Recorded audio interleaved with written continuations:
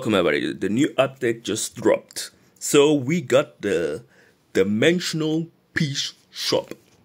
So we're talking about this event. So I'll be right now be grinding the Wind Living Armor Copper. So I already have my team. So for the team you just need, you can go double heal, we need to strip, damage dealer.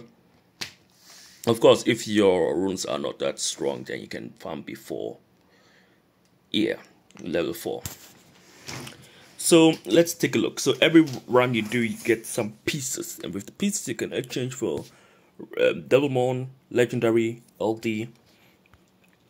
let's see how to collect. Um, randomly drop in scenario Kairos dungeon with the walls guaranteed dropped. Each time you use one dimensional energy equals 2. So it's a guaranteed drop. So when you use a dimensional energy for anything, you get 2 guaranteed drop. So right now we already collect 12 because we did uh, some runs. And when you do your daily mission, collect 20, you get 100,000 mana. And when you do all the, you can collect daily, you get 400 uh, 400k.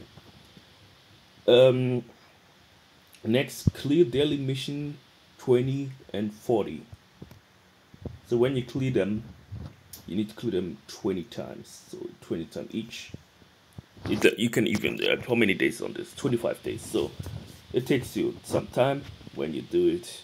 So after 10 days, when you play every time, you should be collecting a legendary, and after 20 days, you be collecting an LD uh, other other way 20 days uh, 10 days for the le uh, legend uh, ld 10 days for the 20 days for the legendary.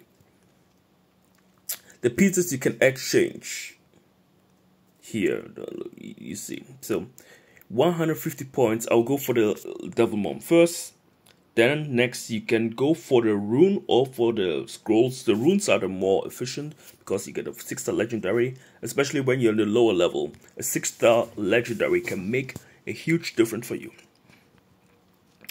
Um, then go for scrolls. Re-up is also very nice. Dimension energy, okay, recharge again. Uh, what's this? Oh, the ore, okay, okay, okay. Wait, I'm not. Uh, we click the whole thing off. Okay, um. So make sure to collect everything. The last thing you will get the infinity amount of mana and the energy.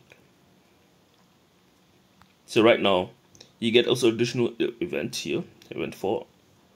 When you enter the awakening, one time, only one time, then you collect the scrolls. So right now I haven't entered the Frankenstein yet. Uh, I'm still waiting till I max my uh, copper. The next is going to be bulldozer because I have after copper bulldozer team. I haven't been using it much lately, but after the secondary awakening, I think I'm going to use them more.